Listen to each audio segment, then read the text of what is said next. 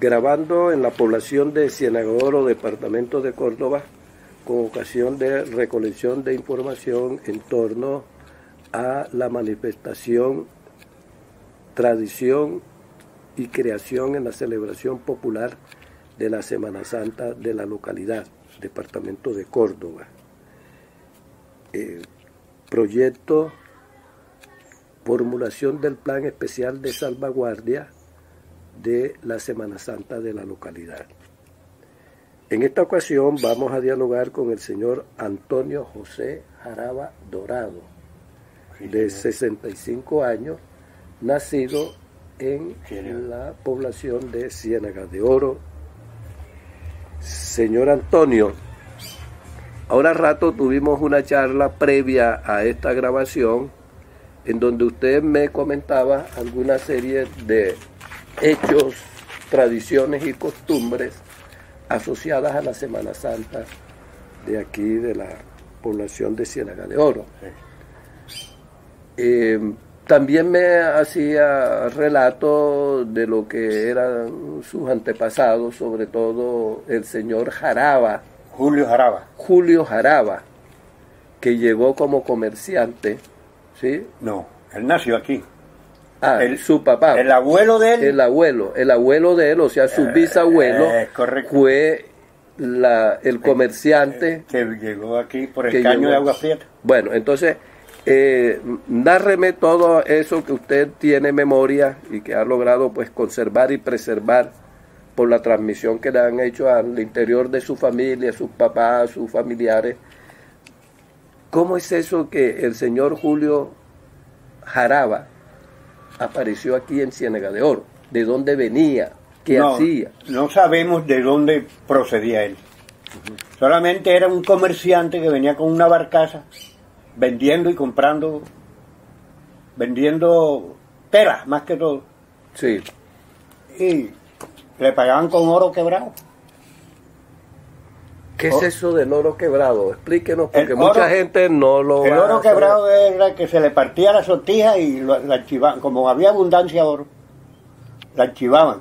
Se partía la cadena y la archivaban. Entonces lo- los antiguos tenían un cofrecito. Ahí encontraba usted cadena, sortija, puente de oro, chagualas, arito. Entonces cuando venían los comerciantes, eso se lo cambiaban ellos por género, decían ellos, de la tela, que la medían en yarda. Sí. Así llegó el apellido Jaraba aquí a Oro. Ese señor se consiguió con mi bisabuela y le hizo un hijo. Se llamaba Julio Jaraba. El mismo nombre de él. Eh, y Julio Jaraba engendró a mi papá que se llamaba Julio Jaraba. Eso era muy tradicional, que siempre se mantenía el nombre, Es correcto, ¿sí? es correcto. Tanto de la mujer como del hombre, El hombre, ¿cierto? el de la mujer se repetía Sí. de los hijos, los nietos. los- exactamente. Ah, pero eso es una interesante. Entonces, él llegó, iba de paso. De paso, de paso. Él nunca se estableció aquí. Y me imagino que en otros pueblos tampoco, porque su oficio era a través del Eh, transporte pluvial. Correcto. Sí, entonces iba de pueblo en pueblo, pueblo en pueblo. ofreciendo sus mercancías, Sí. haciendo Y- esa clase de negocios. y, y dejaron otros hijos, pero esa familia también pequeña, en Lorica y en Tierra Alta, Alto Sinú. También hay una familia pequeña, pero como que eran mujeres porque el apellido se fue perdiendo. Ah, Yo he dialogado con unas personas que me dicen, yo soy Jaraba, pero el segundo apellido. O mi papá era Jaraba. Y acá no, acá nosotros hemos, hemos nos hemos, o se han reproducido la mayoría varones. Entonces el apellido se va conservando. Indudablemente. Pero nosotros también hemos encontrado en la zona del San Jorge, Ayapel, Eh. San Marcos, Caimito, eh, San Benito de Abad, en toda esa región y en La Mojana, ese apellido de los Jarabas. Bueno, y fíjese que por allá hay corrientes de agua, por donde el hombre entraba. Todo es a, a través del transporte pluvial. Acá Eh. en el Sinú, ¿cierto? Y allá en el San Jorge, Correcto. ¿ya? Interesantísimo. Y esos fueron pues los ríos a través del cual hubo todo ese proceso de personas que llegaron de otras partes y se establecieron y se quedaron. Otros como su bisabuelo, que era comerciante. Siguió su rumbo. Y siguió su rumbo. Y donde quiera que iba, pues ahí iba dejando una semilla, por decirlo así. Exacto. ¿Y, y, y qué, qué, sabe usted de ese transporte fluvial? Coménteme un poco más no, en no, detalle. Sé poquito, de dónde venía. No sé de dónde traía mercancía. Sí. La verdad que no sabemos de dónde. Yo tengo una hermana en Cali que estuvo, trató de averiguar pues de dónde descendíamos y uno, según lo, lo que ella averiguó, decían que era, éramos descendientes de Sirio. ¿Sí? Sí, sí, señor. Y otros que eran descendientes de, no sé, otro pueblo europeo por allá, de no sé qué parte. Pero la verdad que no se sabe. Por Bueno. lo menos aquí no sabemos. Queda esa inquietud por averiguar, Eh, correcto. ¿cierto? Vamos a ver nosotros en qué también podemos aportarle a través de consultas en internet, que ahora ya es tan Ah. fácil uno pues conseguir información y, y, y si lo logramos entonces le vamos a traer lo que lo que podamos. pues. Porque la hermana averiguó y también, no sé cómo averiguaba, hasta le dijeron que podía ser malas pronunciaciones, que no era jaraba, sino arada. O, o algo parecido. Entonces los viejos, Bueno, pero también se han escrito algunos libros en los últimos años de investigadores que le siguen, que le han seguido el rastro a los sirios, libaneses y palestinos que han hecho presencia acá en el Caribe colombiano, Sí. por ejemplo. Eso también ahí hay una fuente interesante que la vamos a consultar y en la medida que localicemos, pues eh, eh, ese- esa familia, pues le traemos copias de esa información para que usted pueda ir entonces ya no es muy bueno sería. eh, saber de cuáles fueron sus ancestros y cómo llegaron, qué hicieron, porque la información que tiene, la verdad es que es poca, ¿cierto? Sí, sí, es sí. poca, pero por lo menos tiene algo de, en la memoria. Eso es interesante. Eh, y el apellido Dorado, su mamá, Eh, según ellos, porque los dorados estaban ligados con los Marsiglia.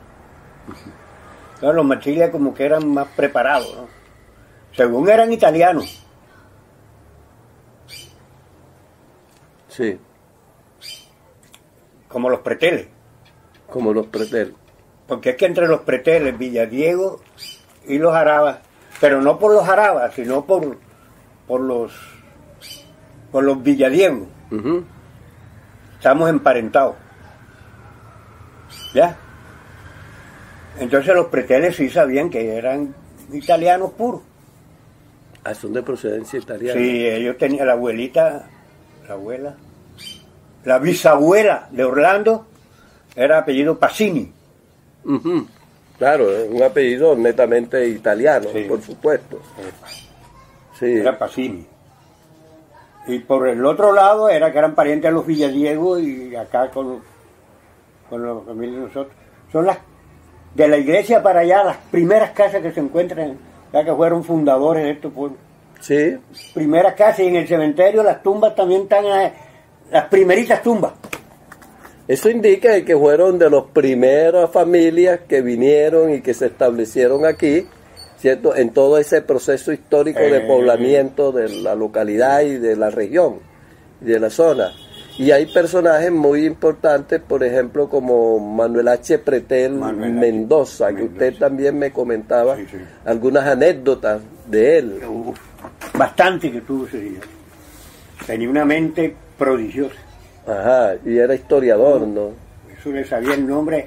Él vivía en Cartagena y venía aquí a Cianega en la fiesta de toro, en diciembre, en Semana Santa, en el Cristo, la fiesta del Cristo, la fiesta de la Virgen del Carmen. Esas eran las, las venidas de él. Pero eso conocía a todo el mundo. Por nombre y apellido y le sabía todo lo que le había pasado.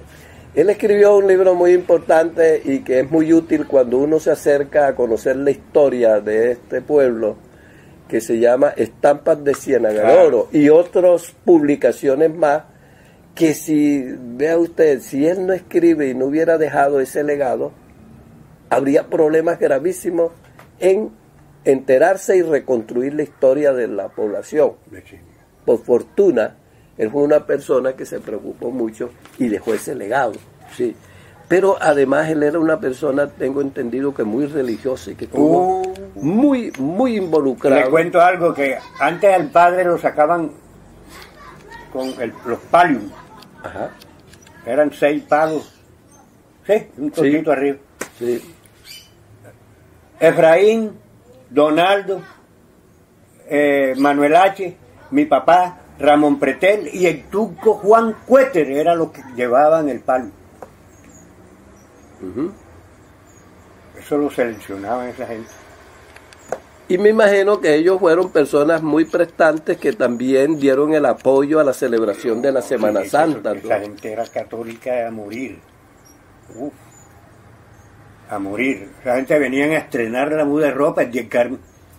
Venían a estrenar los zapatos el día del Cristo. Las procesiones eso no se las perdían nunca. Estuviesen donde estuviesen, Donde siempre venían. Eso era una Y, grande y- y la esposa de eh, Manuel H. Pretel, Era cartagenera. cartagenera, Cartagenera. era también La una Raquel. doña Raquel Raquel Torres. Torres. Torres.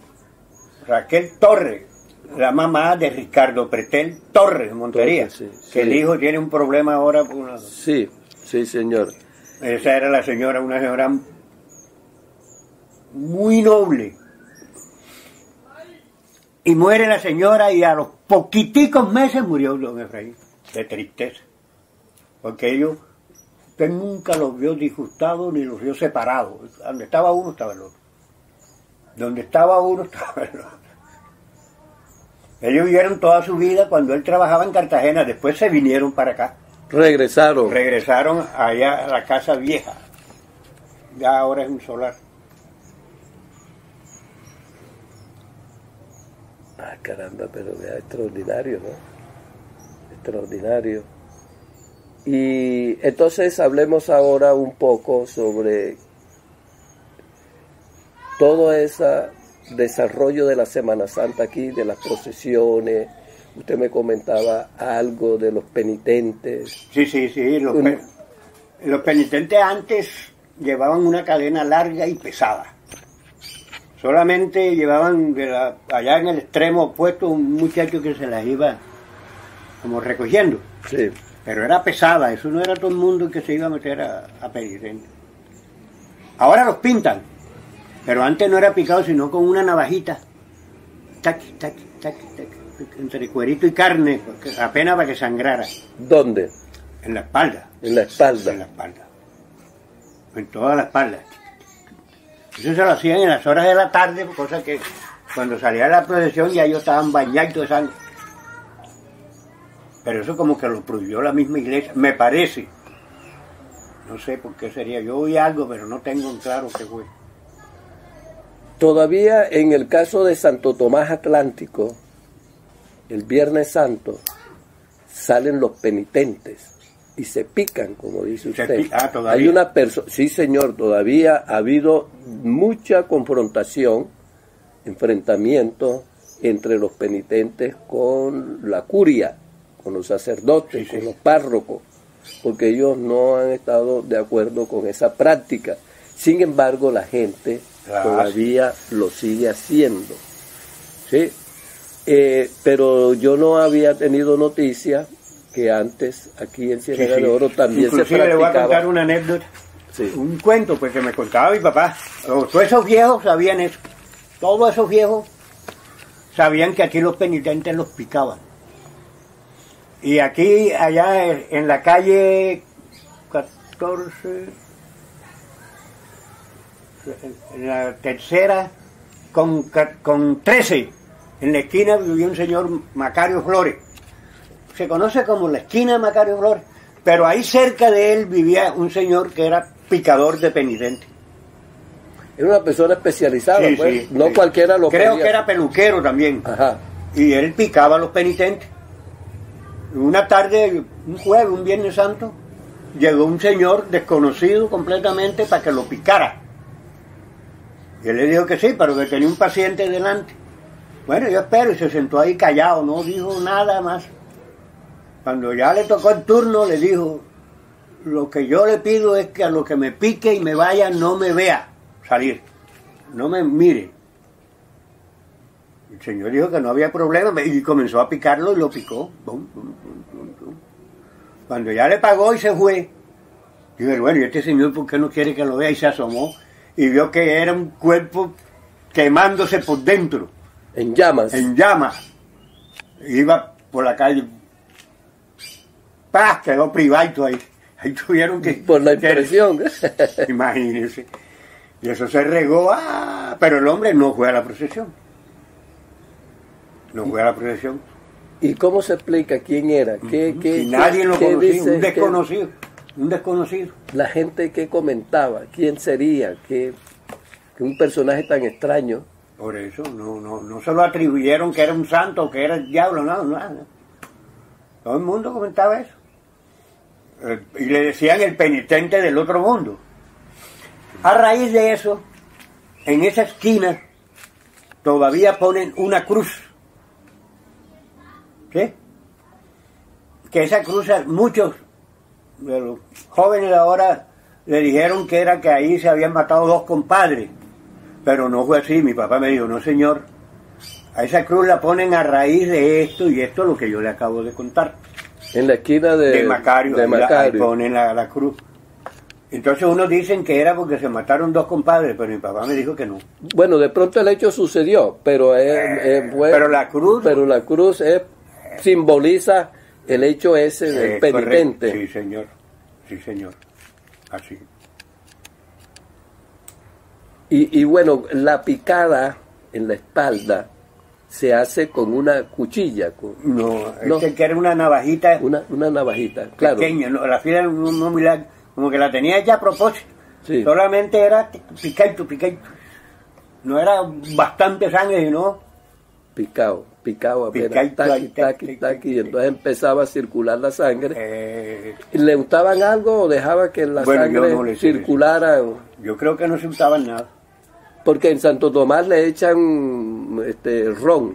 Ah, bueno, pero como los penitentes van bebiendo Van ron, de pronto ron. también te echaban su, su poquito Sí. de ron. Entonces cogían un buche y rociaban como, Eh. como hacen con los gallos. Bueno, de pronto también para, des- para Entonces desinfectar. echaban desinfectar, sí. Sí, pero Porque no. eso sí lo he presenciado yo, eh, eh, bueno, hace ya unos Sí. años atrás, que iba en Semana Santa, viviendo yo en Barranquilla, iba a Santo Tomás, ¿sí? Esa en, en Atlántico. En el Atlántico, sí, cerca de Barranquilla, ¿sí? Y, y bueno, y fuera de esta, de estas picadas de los penitentes, ¿qué cambio ha habido entonces de lo que se hacía antes con lo que ahora usted... De los penitentes. De los penitentes. Sí, primero que la cadena no es larga y es bastante liviana. Sí. Y, y- y el número de penitentes no es el mismo. Antes eran 15, 20 penitentes. Ahora son poquitos. Y no, no recorren el trayecto de la procesión, que sea Total. lo, lo berraco de esa gente. Esa procesión antes se recogía a las 2, 3 de la mañana. ¿Sí? Y ahora entonces... No, ahora uh, a las 12 ya a veces están guardando los pasos. Y si se demora apenas la marcha esta que hacen para entrar a, a donde van a dejar el sepulcro o el paso de los judíos, como decimos nosotros, que ya es una marcha que va para adelante, para atrás, para adelante, para atrás. ¿Cuántos pasos se da? Hombre, dicen que cinco para adelante y tres para atrás, pero yo no creo que sea así, porque entonces... Si avanzan dos, dos apenas en- entre cinco y... Eh, correcto. Pran, pran, pran. Ese es un recorrido. Y entonces el otro, pran, pran, pran. Tres, cinco golpes de eso, avanza. Julio, eh, Luis Chibolo sí le debe dar razón de, de la marcha es Ajá. Luis Chibolo no. ¿cómo? Chiflú. Chiflú. Ese sí, porque él toca ahí. Claro. En ese recorrido que hacían los penitentes después que terminaban de hacer ese recorrido, ya en las horas de la madrugada, iban a una, a una cruz que está como a dos kilómetros aquí, allá atrás, el colegio Marco Fidel Suárez. Una cruz que dejó que el profeta Enoch. Enoch. Y después regresaban a otra que está por allá, una región que le decimos Chocorito, que también fue el mismo profeta que la dejó. Claro que más adelante, por allá por más adelante hay otro que también, él como que iba dejando cruces donde quiera que acampaba, o que acampaban y ponían cruz, no sé. Total que el penitente tenía que ir allá y tenía después que regresar acá, A Chocorito. a Chocorito. Oye, jalando la cadena esa. Entonces un penitente llegó allá detrás de Marco Fidel a, a rezar y a hacer su, su ceremonia. Y vio otro penitente ahí. Y le preguntó, amigo, ¿qué horas son? Entonces le contestó el otro penitente. Le decían los viejos penitentes del otro mundo.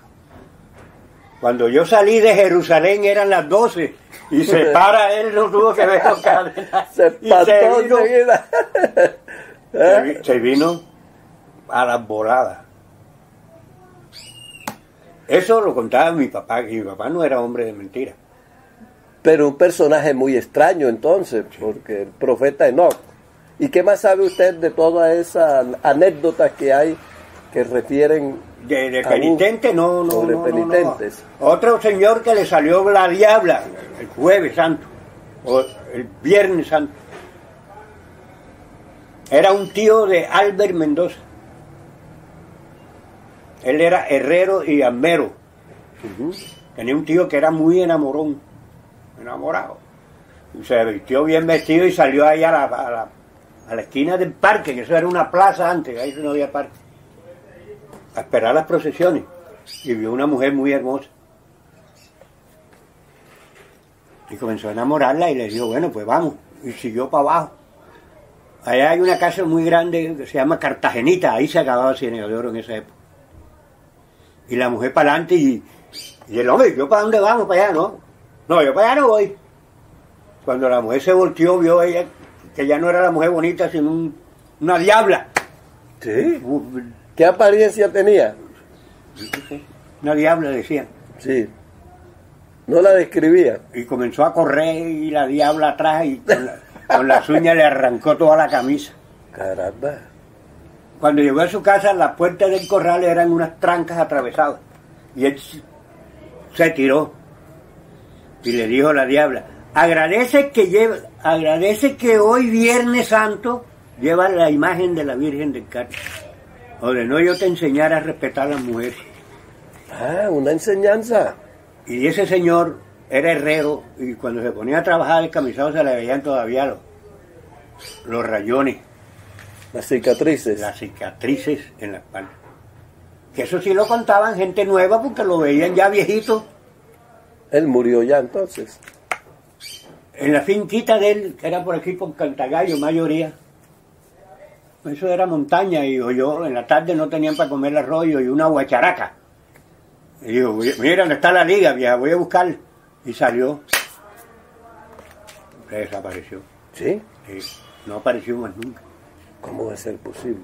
Y dicen que fue la diabla que se lo llevó. ¿Cómo? ¿no? ¿Cuántos años hace de ese suceso que... No, hombre, eso no debe ser Acá. mucho porque Albert murió un hombre de. Póngale 80 años. Y él convivió con el tío.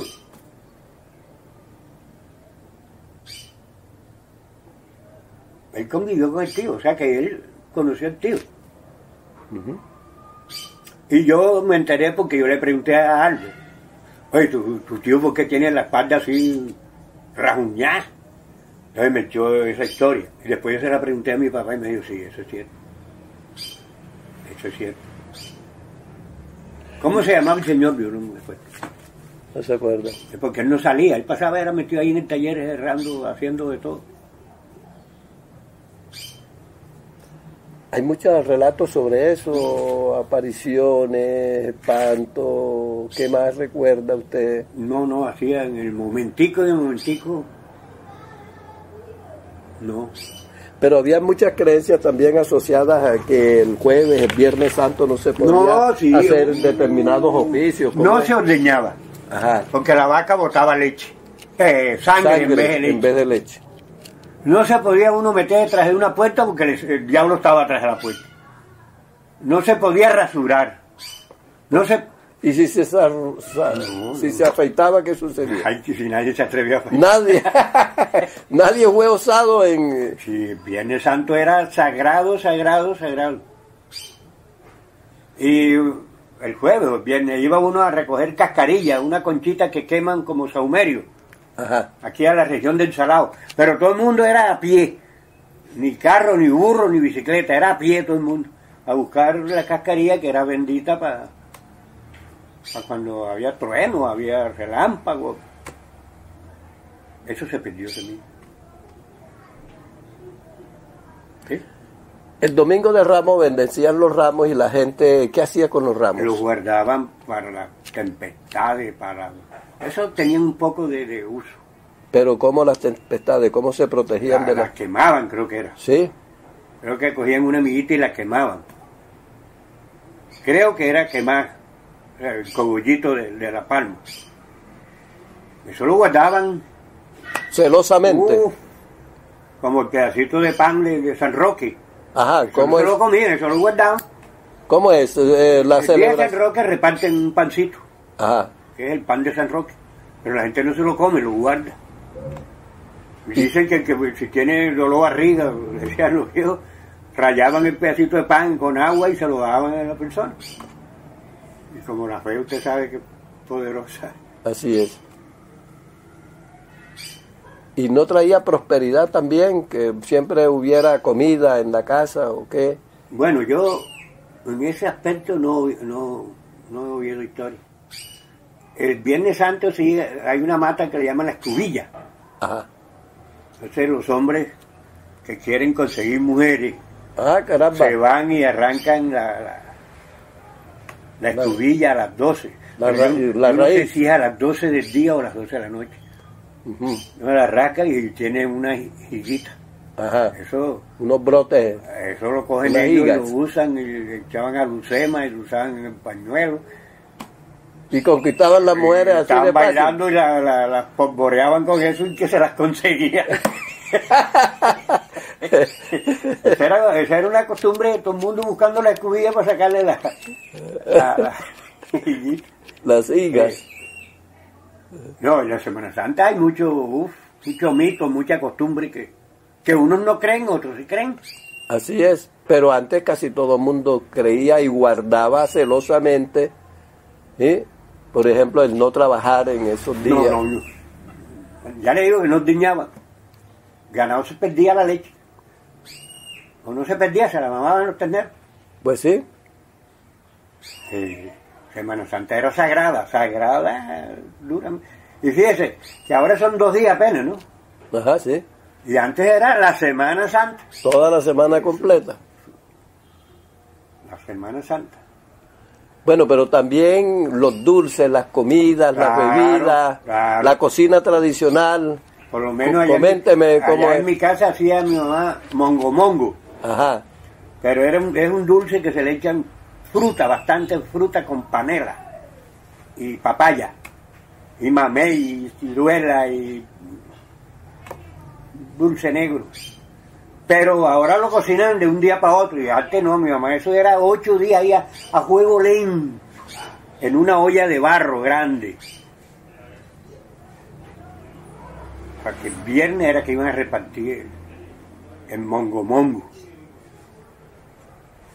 O sea, que jueves y el viernes eran el día de las comidas. Esas comidas se servían en la casa. Y se repartían a todos los vecinos. De aquí iba un plato para allá y de allá venía otro plato para acá. Era un intercambio Eh. ahí de platos. Y lo bonito era que usted llegaba a cualquiera casa y le salían con un vaso de chicha.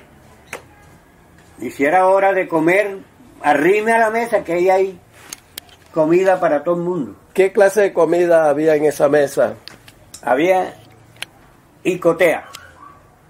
Icotea en guiso y la chaita y otra le llaman, no recuerdo ahora, Como garapacho. garapacho. ¿Cómo es el garapacho? Garapacho es como, ¿cómo le digo yo? Un guisito, pero las presas partiditas. Ajá. Menudita. Y, no- y no el cosa revoltillo que es con huevo. Con huevos, sí. Y la icotea guisa con su plato de arroz de, de frijol, cabecita negra. Con su palmi- sopa de palmito picado. Que eso sí lo, lo prohibieron por lo que destruyen la, la palmera donde lo sacan. sí. Como le mochan el cogollo ya no sirve. Ya se- enseguida Ya se empieza a morirse la ha- palmera. Ha bastante. Claro, eh, como que hay más conciencia. Lo mismo de, de- de Domingo Ramos. Ah, Eran lo- palmas de, de- de- de la misma palmera. Pero ya no, ya llevan ramos de matarratón, de otras ramas. Cualquier clase Sí, de no, rama no. y menos que esté en peligro de extinguirse. Eh, porque la- eh, hubo un año aquí que la policía no dejó que comercializaran la- las palmitas. Pero igual la icotea, ¿no? La discoteca también la controlaron. Verracamente que hubo un año en que el discoteca valía plata. Ahora este año hay bastante discoteca. Y Pero es- la gente ya se, Sí. se- tiene conciencia de que no debe masacrarla. Sí. Sí, se comen una o dos ya, pero antes era que... ¿Usted piensa que, que si sigue la tendencia es así, esas preparaciones de las comidas típicas tradicionales desaparecerá? Yo sí creo. ¿Sí? Porque es que la juventud por lo regular dice, uy, cotea, no. Cuando antes uno entre más echaban, más quería. ¿Eh? Y, y el bagre, que el bagre, como ya los camiones esos, porque el bagre... No. De, de- después de mediodía lo abren. Sí.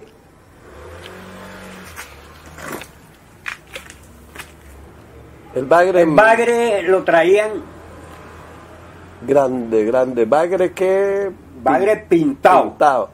¿De dónde lo traía? sequecito, De San Marcos. De la zona del de San Jorge. Esa, esa, esa. Y lo traían ya abierto para Semana Santa, sequecito, sequecito. Ahora, como los termoquintes, ¿sabes? Entonces lo embarcan. uh, se lo llevan pa- para las ciudades grandes. Y acá nos dejan a nosotros el bagrecito ese chiquito. El pequeñito. pero- Que ese bagrecito llega aquí, todo el mundo compra dos, tres, se lo come, y ya para estos tiempos que comienzan a guardarlo, ya no se logra secar ese quesito, ni adquiere ese sabor que tenían antes. Ese bagre grandote, grandote, y que lo trae ya es porque lo va a comprar por allá, o, o se lo, ¿Y cómo lo preparaban? lo preparaban Enmechado, de, deshilachado. y le echaban huevo Mm. ¿Con qué, ¿Con qué lo complementaban para comerlo? con bollo limpio, arroz, su ensalada. La ensalada, la ensalada típica de la casa era papa, zanahoria y remolacha. Que esa ensalada la hacía mi mamá únicamente en, ocasiones especiales. Ese era el plato. ¿Sí? Y sus dos o tres presas de coté con sus respectivos huevitos. Ah, claro. Era la época de... de- de- Y acá había huevos. sopa de queso, sopa de frijol y palmito, sopa de palmito. No, pero una mesa caramba, rica en platos. Mire, aquí cuando salían a coger cascarilla había una finca que eran de unos señores de bastante plata. Se llamaba La Fortuna, de los señores avileses. Ahí podía llegar la gente que fuera. 100, 200 personas, y había una mesa como de aquí a las tablas. Y eso la llenaban. ¡Arrimen! Y se arrimaba una cuadrilla, pam, pam, pam. Otra vez recogían y otra vez ponían. Y una tinaja de chicha. Imagínese. Esa tinaja de chicha se acababa y la volvían a llenar. Eso era el Viernes Santo. Ahí iba a comer tú que fuera a pasear para allá. Acostumbraban a los paseos entonces, para esa época la familia salía a pasear. Sí, sí, todo el mundo se iba a pie a buscar cascarilla y a pasar el día por allá comiendo. Porque lo que había era comida. Ese era un, un placer para ellos. Cuando ya la riqueza comenzó a decaer, que ya la gente casi no iba, ellos sufrían porque la gente no iba. Fíjese usted lo que era. Sí. Eran muy generosos, pues, les se gustaba sentía- compartir Eran felices. Esa finca era la que nombra Alejo Durán en un disco. Cuando llegué a la fortuna, a la casa de Pello, Ah, sí, claro. esa es la fortuna. Pedro Avilés. De los Avilés. De Pello Avilés. Después pasaron a los hijos que eran unos Desordenado, beberrón, pues. beberrón, mujeriego. Ya estos últimos ya no tocaron un pedacito. Pero se mantiene la finca, digamos. No, esa la, ya la picaron toda, la vendieron todito. La lotearon, pues. Sí, porque ya era una generación después esta, de estos otros ya Tres generaciones Tres ahí, los viejos, los, los que vinieron y los que están actualmente. Sí. Eso era placeres para ellos. Una parranda en la fortuna, eso, dos, tres días. eso. Y hacían la parranda en la Semana Santa, ya, Sí, sí, digamos. eso era con... Pero jueves y No, no, Viernes no. Santo no, de ahí Viene- sábado de gloria. En ¿ok? adelante, hágale. Adelante. Hágale.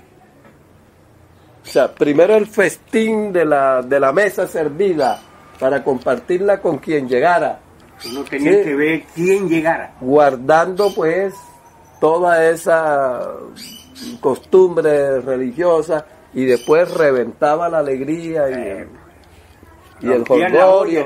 Rompían la olla. ¿Cómo es eso de romper la olla? Romper la olla es el- ya cuando Jesucristo resucita, ya uno puede comer lo que sea y beber y parrandear y hacer todo. Ya se acabó la Semana Santa. Sí, porque hay una abstinencia, ¿no? De alguna manera, incluso en los sexual. Pero ya no, ya, Ya no. ya aquí hubo una- un año en que otras religiones iban a sabotear ahí al parque, porque ahí no se oía música por ningún lado. Entonces ellos llevaban grabadoras, pero era para sabotear Ajá. la cuestión religiosa católica. Pero muchos se pararon y fueron pum, pum, pum, y los enterraron. Porque eso era, O sea, hubo esa, esa, Sí, sí, sí. ese enfrentamiento, esa confrontación, esa tensión fuerte en esto, lo de los otros Sí, credos diferentes a la religión no es católica. mentira que los que cargan paso y los penitentes van consumiendo licor. Ellos No es mentira. Pero no, no es que se emborrachen, ah, y estos otros eran que se emborrachaban y ah, a formar peleas y hacer...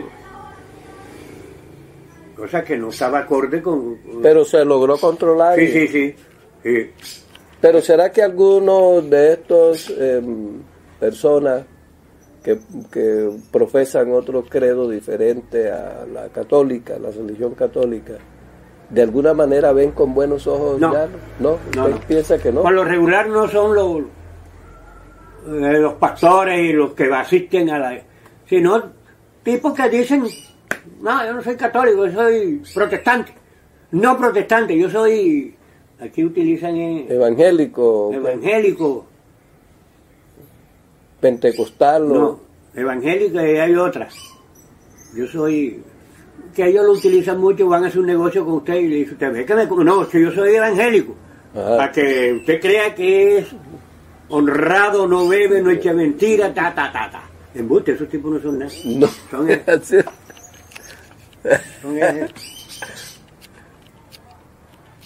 Y yo tengo entendido que ahora la Semana Santa, como el año pasado y este año, está cogiendo como más auge.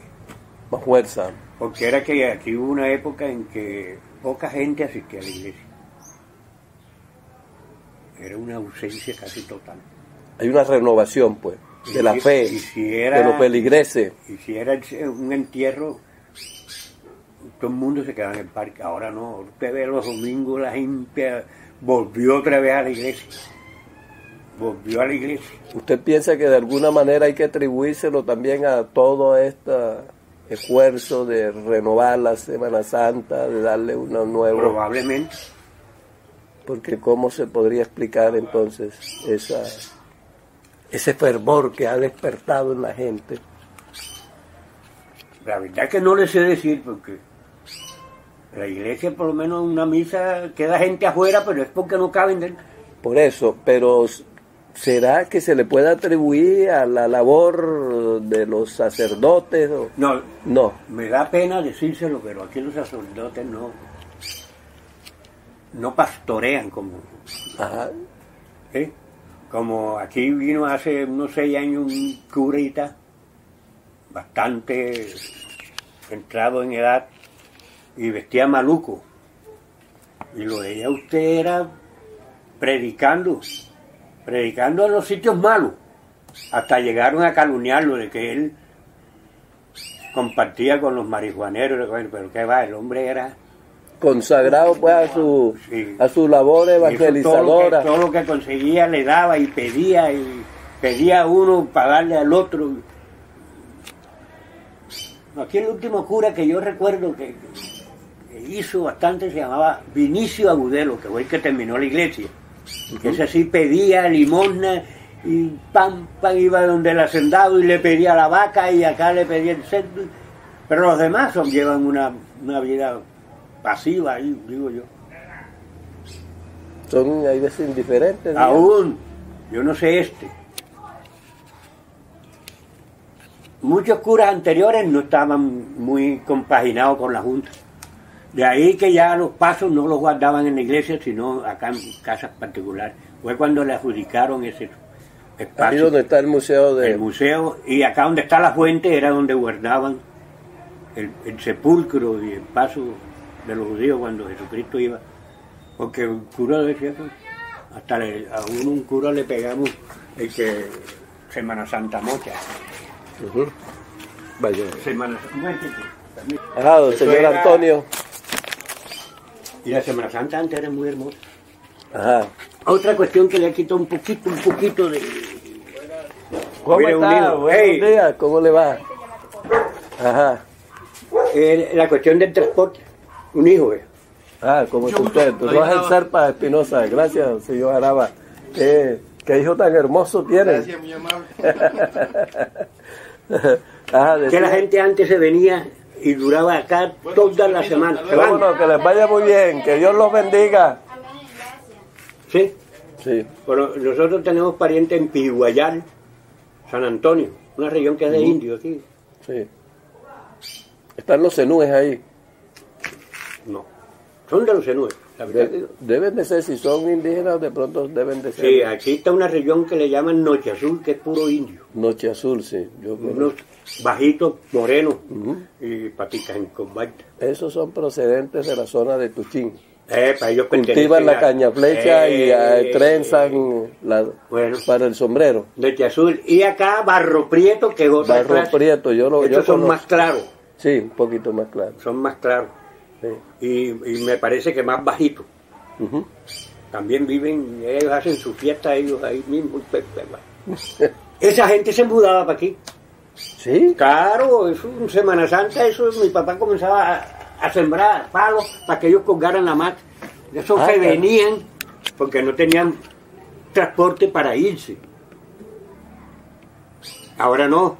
Ahora vienen a las 4 de la tarde, se ven la procesión y se montan en su moto y vámonos. Entonces antes era más, más concurrida. más la- concurrida. ellos venían, traían su leña, traían su palmito, traían sus todas sus... Y en el patio de la casa, que era bastante grande, ponían una olla a cocinar ahí sus... Su- Sus sus comidas. comidas. Y hacían sus chichas. hacían- no, la chicha venía hecha ya. Ya, ya, fermentada. estaba fermentada. ¿En qué la traían? ¿En calabazos o qué? En ollas y En calabazas. ollas y calabazos. Ollas y calabazas. Ollas de barro. Calabazo, calabazo, ¿no? Porque ahora hay un calabazo que es de totumo. No, no, no, el del otro. El otro calabazo. Sí, eh, bangaño. Bangaño ese que lo mantiene, que lo conserva fresca. Muy fresca. Lo mismo el agua. Sí. Eh, esa gente. Y en todas partes, al vecino de nosotros era una señora apellido Chica, rica. También se venía con todo, hasta las gallinas para romper la, la olla, que le digo yo. Ajá, ajá, Ahí bueno. Traían sus gallinas y ya cuando se iban le decían nomás, mire comadre, para que venga a recoger. A, la leña que quedó, pedazo de queso, esto. Ellos traían todo su Y con esas gallinas preparaban sancochos y guisos y san- más que todo sancocho. sancochos. más que todo el sancocho. Usted lo invitaban ¿Y dónde se va a pasar para romper la olla? No, vaya, que tengo un sancocho de gallina allá o un pavo que maté. Más que todo era el sancocho. Pero ¿y de carne también? No tanto hablaba la carne. Ajá. El mundo aspiraba a comerse a gallina y La gallina, pavo, pavo, gallina, cocá, exacto. De, de carne muy poco. Yo no ¿Carne digo de que res? no, sí habría gente que... y de Ah, cerdo. Tampoco. Ah, Era caramba. gallina. ¿Qué significado podría tener eso que era gallina y No por sé, qué no podía aquí- ser la de res y la de cerdo? Siempre, siempre. Si son las fiestas, es gallina que le brindan. Ahora con la invasión del pollo purina, que le brindan pollo purino. A ver, Sí, ya. era gallina criolla. Criolla, criollita. Lo invitaban a comer usted y una vez pensaban era en, en la gallina. Y su buen arroz con coco. Plátano, ensalada, eso. La ensalada esa que le digo. Sí, pero para la Semana Santa esa era la ensalada Esa clásica, es, con la papa que me Papa, comentaba. zanahoria y remolacha. Y Y, su- huevito, hue- huevo en torreja. En torreja, huevo duro, Sí. cocido. No, no había más verdura, no había más. Ajá. Esa era la Y ensalada. suero, Ah, el suero, el suero a toya güey era en todas las comidas. Y plátano, Muy poco. muy poco. tajado. Bueno, y usted decía que también se usaba el bollo, ¿no? No, sí, el bollo limpio sí. Sí, Cortado con batata, con no ba- con azúcar. Batata. Con batata, que le da un sabor dulce, sabroso. Y usted para guardarlo dura más. Se conserva más, se conserva hasta ocho días. Con batata, pero yo creo que ya no le echan batata, porque la batata tengo rato no veo. Todos esos platos también los preparaban estos, las comunidades indígenas de Barro Prieto que llegaban a pasarse esos días acá. Bueno, no sé de, de- de- de- de ensalada, no le sé decir. Pero sí. Pero la- ellos sí preparaban otra ensalada, Ajá. que era con la cabeza del palmito. Ajá. O sea, el palmito lo picaban, hacían su sopa y lo que quedaba lo, otra vez, yo no sé si lo molían o lo picaban o qué, total que hacían como una, una pasta. Una pasta. Esa era la ensalada de ellos, le echaban ajo, cebolla y tal. Esa era la ensalada de ellos. Y su chicha que no le faltaba. Mm, ya venía fermentada, ¿no? Y, y- y traían un gusanito así que le llaman molongo. Ajá. Molongo ese es de- lo sacan de la misma palma de vino. Sacan el molongo y también lo preparaban. ¿Cómo? No sé decir. Pero lo preparaban en molongo y se comían su molongo sabroso. Y pescado, Ah, pescado. ¿Qué clase de pescado? boca chico. Porque aquí antes el pescado que predominaba era el boca chico. ¿De dónde venía ese pescado? Ese pescado lo, lo cogían aquí, en la Ciénaga Grande y en Lorica. Era el pescado de ahora, de este tiempo. En tiempo de suba venía de San Marcos, pero este pescado negrito era más sabroso. Creo que Pequeño, era más pequeño, de creo que sabores el más de- grandes. creo que era el mismo del río de Montería, ¿no? Del Sinú. Sí, del Sinú. Pero acá arriba habían unas ciénegas donde ellos ponían los huevos y se criaban los pescados y bajaba ese pescado pero lindo y sabroso, ese pescado más sabroso de aquel. La carne es más, más aquel es que. como más rucho. Sí, más rucho. Esta es Porque más- este pescado se criaba en la ciénega Sí. y cuando bajaba era de aquí a ahí ya pues, Gordos, oh, pues, con huevera. con huevera. Y después cuando ¿Qué? ya, cuando ya pasaban flacos era que habían puesto en los chorrillos. Ah, sí. Pero esas ciénegas las disecó en Cora. Ay. Imagínese. Los sábalos, Soledad. Tres ciénegas grandes que, que ahí se criaba pescado a la lata. Bueno, en Semana Santa también se comía pescado, viuda de pescado. Y en Moncholo lo ahumaban, ese es comida de indio. Ajá. Lo ahumaban, lo esmechaban y le echaban huevo. Porque el bagre era caro para ellos. El bagre ese grande, abierto, sequecito, Pero ese bagre venía de dónde? de San Marcos, O sea, era bagre pintado. pintado. No Ese- es blanco, ese es blanquillo No, no, que no. se- da por acá en el Ni, Sinú. ni, ni, ni, ese va- eh, tiburón chiquito, que aquí lo meten bastante, lo venden más barato los cachacos. Ajá. El, ¿Cómo se llama? Toyo. El toyo. Aquí lo meten como bagre. Más barato. La gente. Al fin y al cabo digan que es comida y la gente lo come pensando que. Es bagre. exacto. Antes no, antes era pintadito con su pellejo, si no, no lo compraba. Y sequecito, sequecito. Pero los indios, o los criollos más, porque ya esa gente no creo que sea indios puros. No, ya no Lo que pasa es que ellos sí, es como el negro, el negro transmite, porque mire, yo tengo como una, dos, tres, cuatro, como cinco generaciones y todavía, miren, los hijos míos están teniendo el pelo cucú.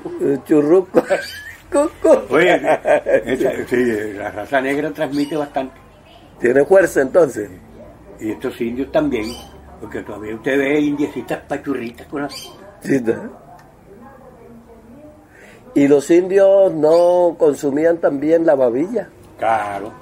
Pero para acá muy poco, porque esta región donde ellos viven Es no hay, no hay ciénega. Hoyos de ciénaga ni No hay, porque ellos están en la parte alta aquí de la Sí. serranía esa para Sí, allá. en las lomas esas. Ahí no hay casi babilla. Yo no sé si la comen, lo que sí comían era la iguana, La iguana. la iguana. En cambio para allá, para, San Andrés y la babilla La que babilla, sí. En el mercado de, de ahí de, de Tuchín, usted Eh. los fines de semana, los sábados y los domingos encuentra la venta ahí en el mercado. Esta de gente para acá era eh, eh, el iguano, la cola del iguano, que era lo único que tenía acá. Y los respectivos huevos de iguana. Eso sí es de indio. Eso sí es de indio. Pero babillas no. Estos eran indios, no babilleros. y asistían entonces ellos a las procesiones. A las procesiones y a todos los actos esos de la iglesia. Todos. Todo.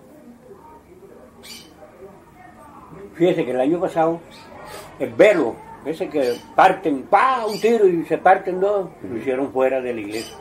Porque es que los curas, yo no sé, han tenido un cambio. Ujú. Pero sin embargo, aquí, aquí en Cienedoro, la gente está retornando a la religión católica. Hay una renovación de la fe, de todo esto. Porque hay bastantes iglesias de diferentes religiones que también asisten, pero aquí vienen bastante. Bastante, bastante. Se puede decir que los que de pronto no son muy afectos a la Semana Santa de esas otras credos religiosos pueden ser los pastores, pero los, los creyentes comunes y corrientes sí concurren, por lo menos a observar, pues, No, y también se y meten. también en- se meten. Ese es un dato muy importante. Tienen como un respeto a la religión católica. Porque yo conozco muchos testigos de Jehová Ah, usted ahora rato de pronto no se acordó Eh, los testigos de Jehová. Te- conozco muchos testigos de Jehová que, que asisten a las cuestiones religiosas.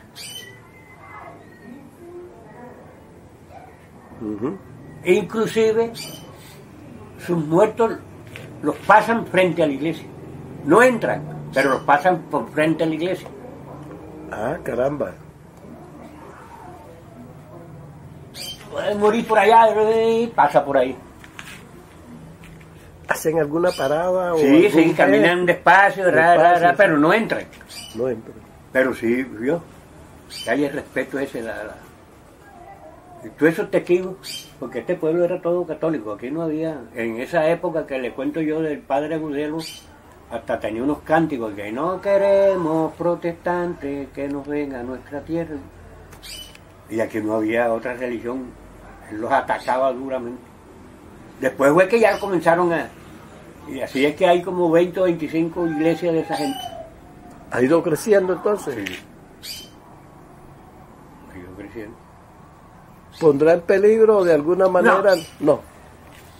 Mire, es una, una cuestión que usted viniera ahora que empiecen a arreglar para que vea usted a la muchachada que viene a ayudarle a nadie ahí, sin miras de, de plata.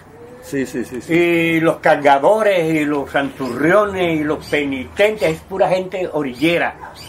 Y esa gente viene espontáneamente. espontáneamente, pelean con él porque no les da cupo. Que no, que yo he venido cantando y a mí no me da. Ellos quieren participar de alguna manera. Eso es muy importante porque eso le, le da pues fortaleza a la manifestación. O sea, la juventud ve usted que está comprometida. Está, sí, bastante, bastante. Eso indica que puede haber un futuro para esta manifestación. Sí. Aquí hay un espectáculo muy, muy bueno que es el Cuto.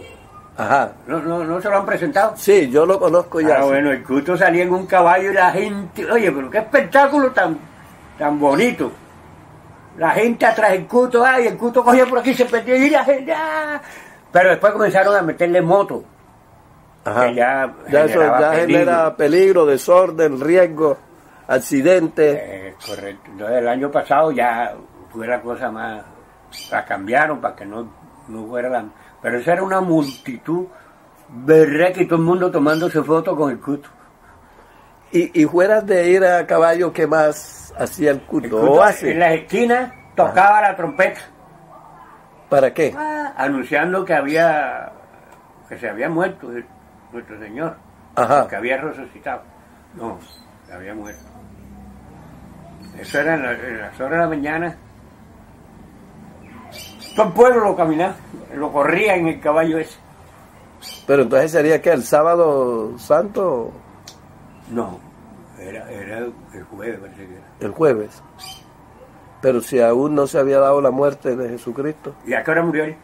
¿a qué hora? No, debió ser por la tarde, Bueno. pero del viernes, ¿no? Ah, el, el viernes. o, del, o del jueves, Bueno, total que él salía anunciando, no sé si era la resurrección o era la muerte. o era la Pero muerte. él salía anunciando, pregonando eso. Uh, uh, y en la otra esquina, la misma y para allá, la otra. Y la gente atrás, corriendo. Era un espectáculo bonito. Yo tenía unos, tengo unos parientes en Sagún que se venían a corretear, Sí. a corretear al Cutu. Después le cambiaron, le pusieron un compañero, ya no era en, en caballo, sino en moto. Después ya no fue, total, no sé. Pero usted que piensa que debe de seguir con la tradición Claro. del caballo, Claro, es una tradición.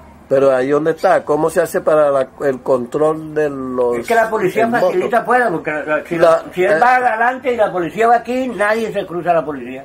Ha, ha faltado control de las autoridades, Sí, señor.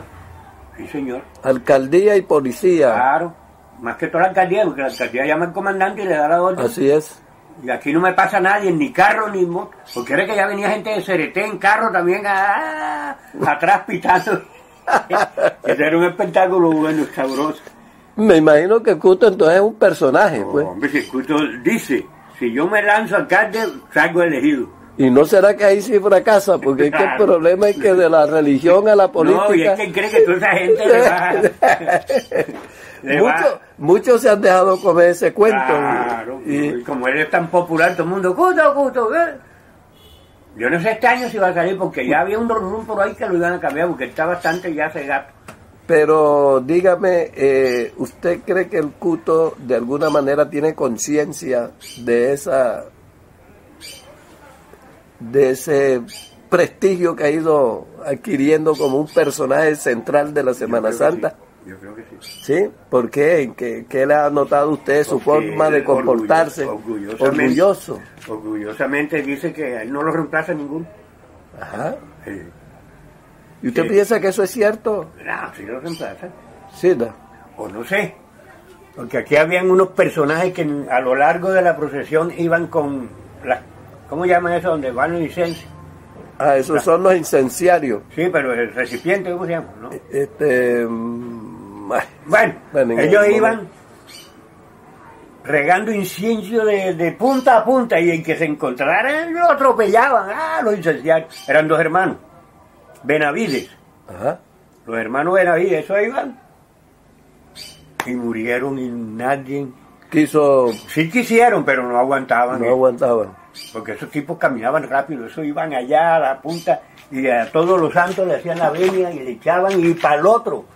¿Usted cree que esto está alimentado más por la fe que por lo, la, la capacidad física que uno tenga de aguantar? eh, Yo creo que la parte, fe? la, parte la, la- resistencia, pero más la fe.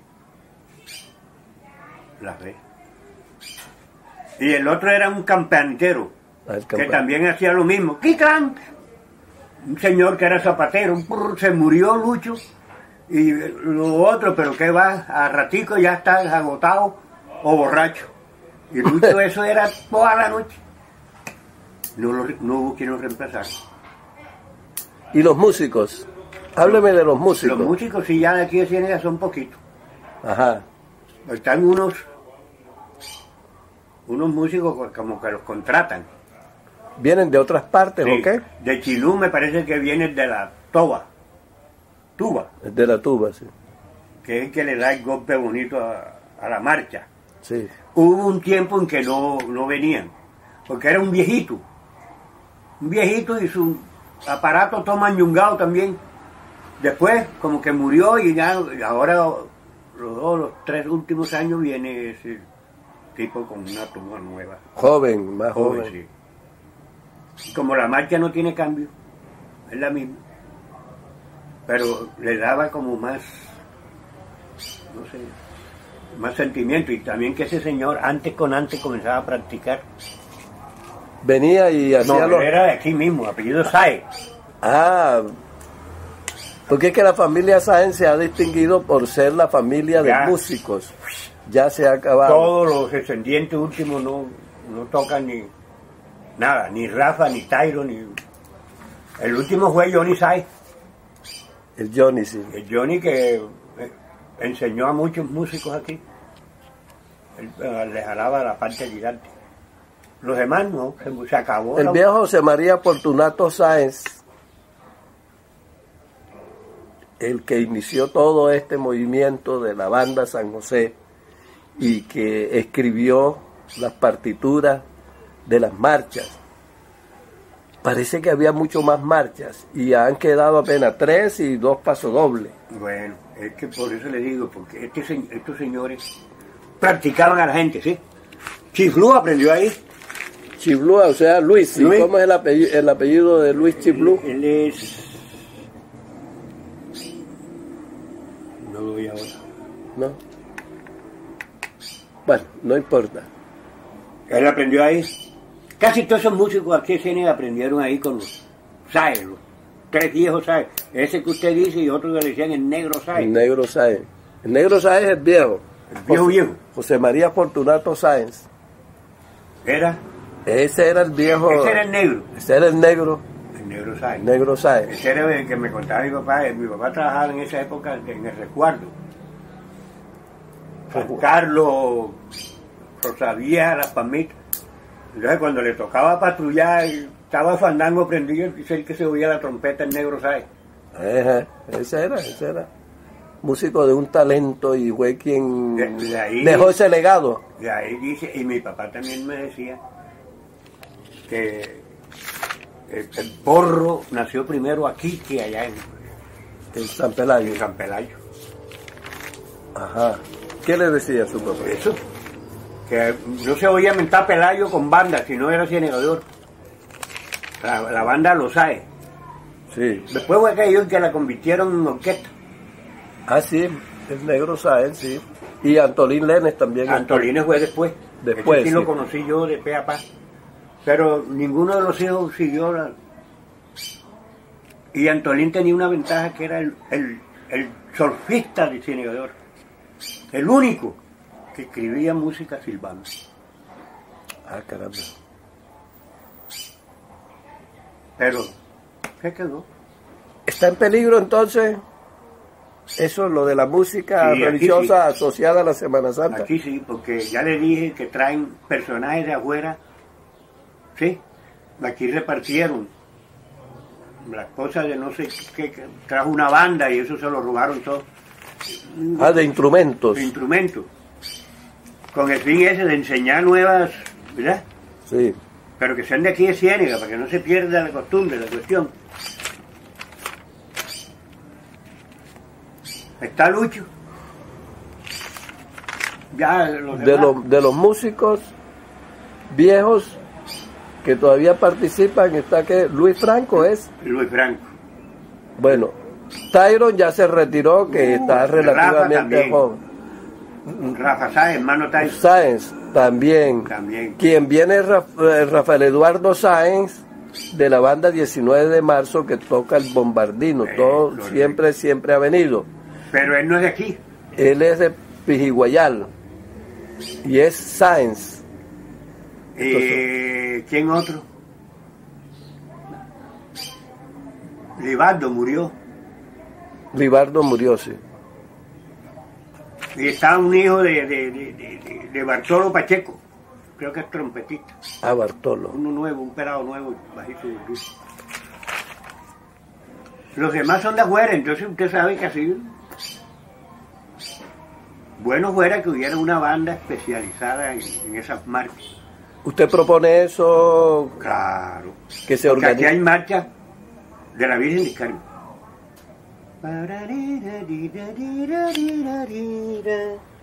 Es una marcha que le compuse. Continúa la... la, la- la- no, hasta ahí lo hacemos. Ajá, ¿qué- ¿De qué más? La letra, ¿cómo que dice? Bueno, esa es una marcha, La de la Virgen del la Carmen. de la Virgen del Carmen. Están las dos marchas de la Semana Santa.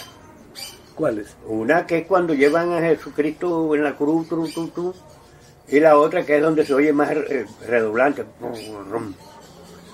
que es cuando ya va muerto en el sepulcro. Parece que fuera la misma marcha, pero tiene su... Esa es como la del crucificado. Y el Cristo tiene otra marcha.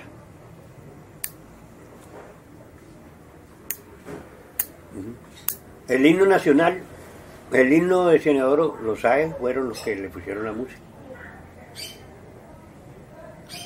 Y Manuel H. Pretel fue el autor de la de letra. la letra. Entonces, en concreto, ¿qué propone usted? Para que, que haya escuelas de música para que se especialicen en, en esas marchas, ¿no? Sobre todo en esas marchas. Y aún tenemos los músicos viejos que están que les van a servir de guía, que les de van a... guía. Les van a Po- ¿Sí? Sí, Lo porque que pasa es que aquí la administración nunca les ha importado, escuetamente lo hace, porque nombran a dos, tres presidentes, secretarios y tesoreros y esos son los que acaparan y no hacen nada. Aquí hubo un señor que murió, que le quedó debiendo al municipio un poco de plata, le decían el muerto vivo, yo no sé si usted lo... no he oído, pero, pero de seguro que voy a encontrar esas anécdotas. El muerto vivo era. Él era- cuando estaba más joven era alcohólico, pero sabía de música, y tenía el don de enseñarla. Y se murió y no le pagaron las horas que dictaba ahí en la Casa de la Cultura ¿Y Antigua. no recuerda el nombre de él? Todo el mundo era muerto vivo. Perdió el nombre pues por el apodo. Es que yo he entrevistado al señor Primitivo Perdomo, a don Fabio Perdomo, que ellos son hermanos, a Luis Franco, a Tairo, a Inocencio Bedoya, El Chencho Bedoya. el Chencho Bedoya. Y ellos, Y un pariente del Chencho, no, ¿cómo se llama? Francisco. Francisco. Ay, Dios mío, se me- Se me olvidó. Francisco. A Luis Franco también lo entrevisté. Pero este es un señor viejo que sabe más, inclusive de datos. ¿Sí? Eh, Francisco. Francisco Bedoya. Francisco Bedoya. Ese lo tiene ahí apuntado. Lo tengo anotado, sí, pero, pero no lo he, no he dialogado con él. Aquí derechito. Francisco Bedoya, a él le gusta hablar mucho. Bueno, ese va a ser el próximo entonces, junto con el señor Luis Chiflú, Con el señor. que todavía no he tenido la oportunidad de conversar con él. Francisco Bedoya sabe más, más historia, más. Francisco Bedoya. Cuando vaya ahí, pues, lo puedo yo llevar allá a su casa. Ah, bueno, claro.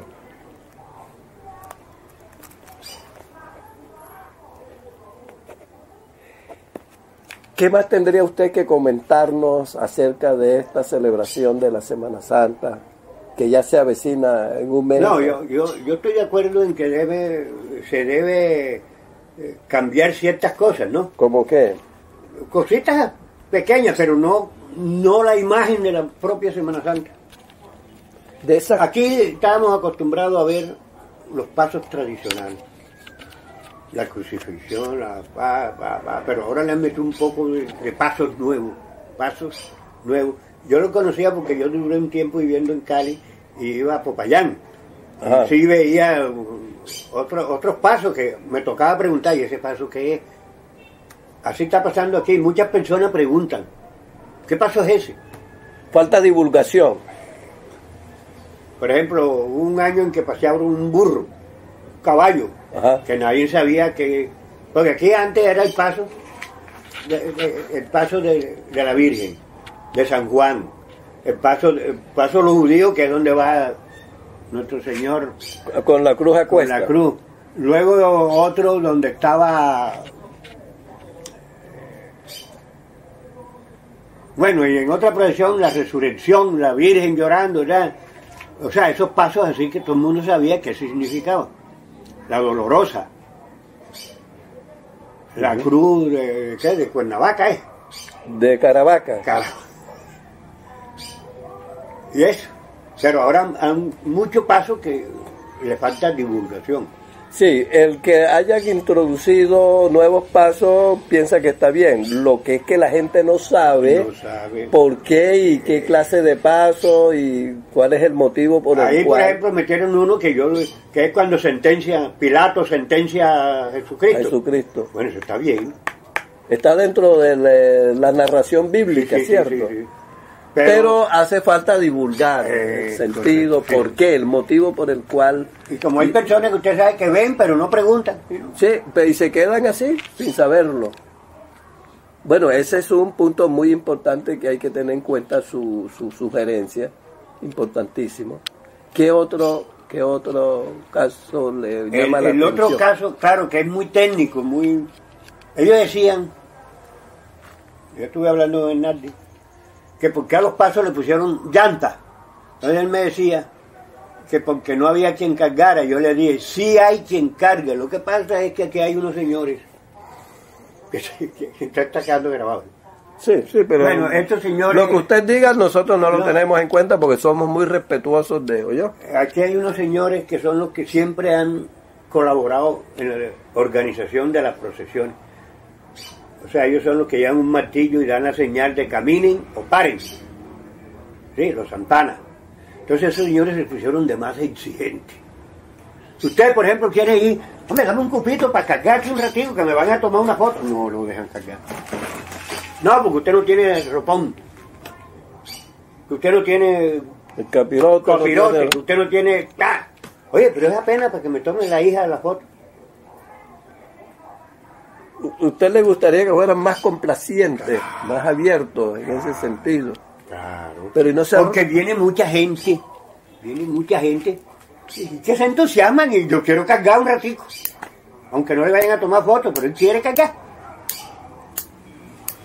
No, no lo dejan. Sí, porque es que de pronto el tomar foto entonces se forma un desorden donde todo el mundo, pero si es espontáneamente dentro de ese sentimiento religioso lo que usted está planteando, ¿no? Es correcto. Espero Sí, comprenderle sí, sí, sí. su, Así sugerencia, es, así es. que haya la posibilidad de que esa De persona pueda ser complacida. Es correcto. Y- y que Entonces él- hay pasitos sencillos que, que, que la gente común y corriente lo carga espontáneamente. Entonces le pusieron llanta y todo el mundo va empujando, ya es como que se le perdió ese saborcito de, de, de pueblo, de, de no sé qué. La, la esencia, La Virgen la cargaban las mujeres. y la siguen cargando Y las la siguen mujeres. cargando las mujeres, pero yo no sé si le van a poner llanta. Ya entonces ahí ve usted que se rompe la Eh, tradición. correcto, que hay, eso es indistingo, eso todo el mundo va, aunque no vayan cargando, eh, van con la mano puesta aquí, pero se le ve ese fervor, y la mano acá quemándose con vela. Entonces ya con llanta ya son dos o tres que van empujando. Veo yo acá, ¿no? Usted hace su sugerencia con mucho respeto y en aras de dar un aporte, ¿cierto? Correcto. Muy respetuoso, ya, he notado que usted está un poco preocupado por eso, pero lo hace con todo sentimiento. Sí, sí, sí. Esto es la Semana Santa. Yo no sé, a mí me gustaba más la antigua. Ajá. Era más desordenadita, pero como, como más sabrosona. Y ese, ese, ese- Mire que la Semana Santa antes hacían una fila de este lado y de este lado. Uno detrás de otro con su vela. Ya no. Ya es un solo. va toda la gente ahí revuelta. ¿Mm? Una multitud ahí. Sí, sí, sí, correcto. Antes no, antes iba a las procesiones. Uno se metía en la procesión a quemar su vela ahí. Y ahora se, se- caminan para allí, caminan para acá y, y eso que yo he visto que yo no sé si no sé si depende de los curas o es de la junta. En todo caso es que se ve que como que estos señores no le quieren rendir cuenta a los curas o los curas Hay confrontación. Siempre ha existido esas tensiones. sí Según eh, sí aquí desde un, un cura que dijo que la que guarden los pasos y que va al pueblo lo sacó. sí ajá, el pueblo desde que sacaba el paso ya le dije eso era 3, 4 de la mañana marchando y ra, ra. entonces él se molestó y cerró las puertas del templo y tuvieron que llevar los pasos a guardarlos aquí a la casa esa bonita que está ahí y lo pusieron Semana Santa Mocha Muchas. Semana Santa Mocha. Ese señor se llevó una, una muchacha aquí para Cali, el cura ese. Como pareja. Sí. Y vivieron en Cali. No recuerdo el nombre de él. No.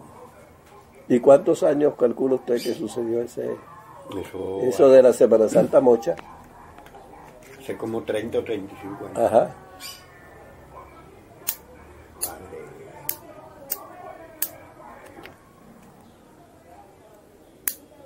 Entonces, eh, no sé, la gente, usted sabe que es delicada.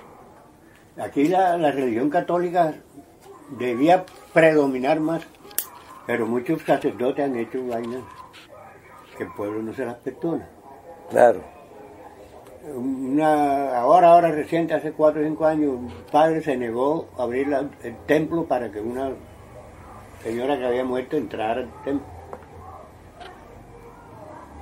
Dijo que no, que ese no era, él no había autorizado ese entierro. Y el pueblo lo iba a pedrar toda esa cuestión, que son vainas malucas. ¿Sí o no? Claro, el pueblo tiene sus sentimientos y bueno, lo asume como un reto y un desafío y procede no de la manera adecuada, pero también es su sentimiento que se siente como atropellado de sus sentimientos. Sí, sí. Y a pesar de eso, ya le dije anterior que la gente está retornando a la iglesia. Pero en cuanto a lo que me concierne a mí, los curas se han cagado mucho. Ahora recientemente estaba uno enamorado por allá también. Que yo no, no le veo nada de malo a eso, pero como ellos tienen su celibato y su... Tienen sus Pues ya celibatos. eso lo eliminaron, ¿no? No, aún no, aún no. Y, y ahora reafirman que quieren seguir en el celibato. pues. Entonces ya la gente comienza, mire que el cura este... Los rumores que a veces no son tantos rumores, sino que son evidencia, es evidente, pues. ¿Mm?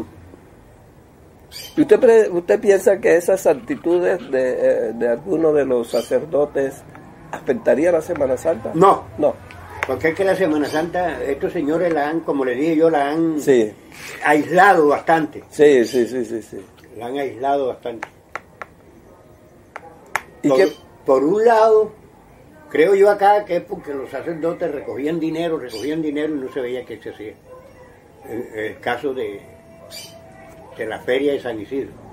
Ajá, La feria de San Isidro, aquí todo ganadero daba una novilla, yo daba esto, el otro, todo el mundo aportaba. Entonces venían los remates. Ganado 60 millones de pesos, fuera lo otro, las comidas. Productos agrícolas. Baile, eso era baile, uno bailaba, bebía ron y, y las plata. No se daba cuenta de los dineros invertidos. La gente comenzó a tenerse a dar. No, hombre, que voy a darlo porque el cura se lo coge. Eh, eh. Y, y la prueba está que ya San Isidro es una cuestión boba ahí, según los que yo vi que era un San Isidro, era una fiesta grande y buena y dejaba. Dejaba. Para invertir en, en, Claro. en- en la iglesia. Claro, cuando en ese cura que yo le digo templo, que en era las agudelo, misiones. Ajá. que a pesar de que él dejó una hija, agudelo, Bueno, dejó también eso. dejó Pero- pero- retoño.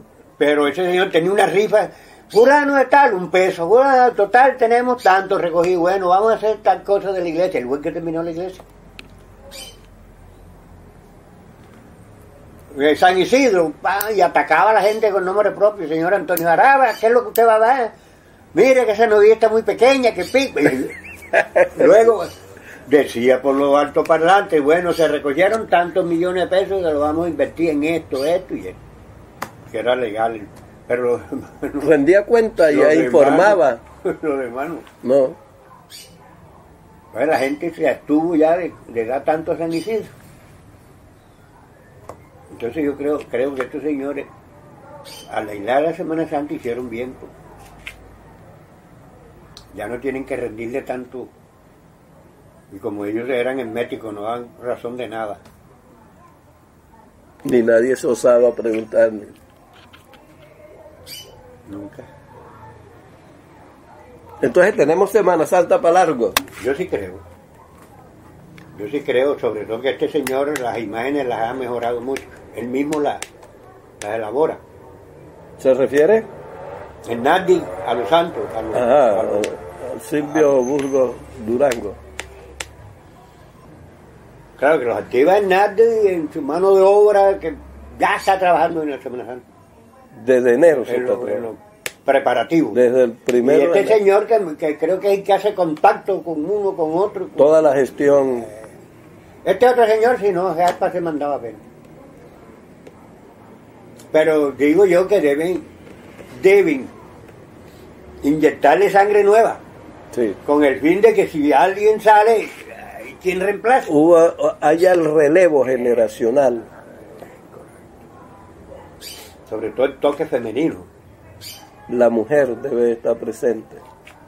Sí, señor. Debe dar su aporte, su, Porque la mujer es su- bastante... su participación. La mujer, yo digo, yo soy artesano y la mujer tiene un toquecito de adornar, de, de- sí o no, aunque no sea artesana nada, pero le da el alto bonito Tiene a un las sentido de las cosas, Sí. ¿cierto? Es muy curiosa, es muy creativa, muy imaginativa. Ese toque femenino hace falta. toque femenino. Siempre ha Y yo- faltado. yo- Y cuando tuvo doña Berta Burgos. Burgos Brum, ella también manejó. Claro, manejó el Cristo, la Virgen del Carmen y la Semana Santa.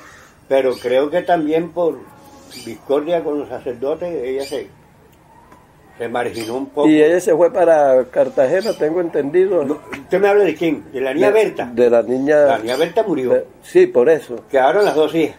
sí. Una que vive en Cartagena y una que vive en Montería. Por eso, la niña Berta, ella se fue para Cartagena, tengo entendido, y después regresó. Sí, sí, sí, sí, claro. Pero ella siempre estuvo con Juan Usta, Eh, Sí, había, había una que fue un periodo crítico ahí porque hubo la confrontación fuerte con el clero, Y con ellos mismos. y- Ellos mismos peleando de que yo quiero ser presidente y que yo quiero ser tesorero y que yo quiero ser... Pero fíjese usted cómo hubo una transición, ¿verdad? El sepulcro lo adornaba siempre a la niña Berta. Era la que adornaba el sepulcro. Y la dolorosa, la que va metida ahí. Es una imagen bella. ¿eh?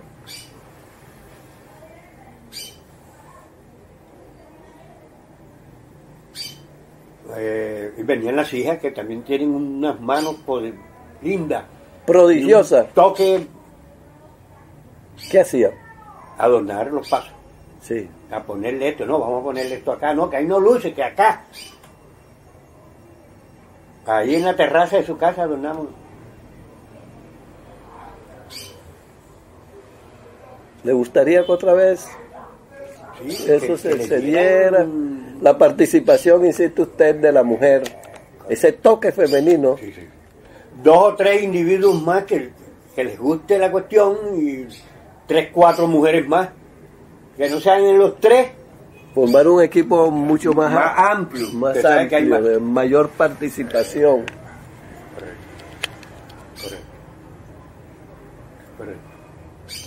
Fíjese que si en la Junta hubiese alguien que entendiera bastante de música y que dirigiera, se preocupara por crear una banda, aunque no sea comercial, pero que ya llegó la Semana Santa, vayan acá, vamos a practicar. Porque ahora se está sucediendo que hay que buscar músicos de otros pueblos para que pueda formar el conjunto de la banda. Y si usted se consigue una grabación de, de las marchas viejas y la compara con ahora, ve que tiene sus cambios. Tiene sus cambios. Esos cambios parece ser que son inevitables, ¿no? ¿Qué? ¿Verdad? No, no sé, es una, es una duda que tengo. ¿Qué opina usted? No, no, no. Porque yo de música casi no. No, no entiende. no. Pero sí uno, que la marcha había, había una marcha ahí del sepulcro que le daba a uno como tendencia a llorar, que era una marcha fúnebre, bonita. Uno,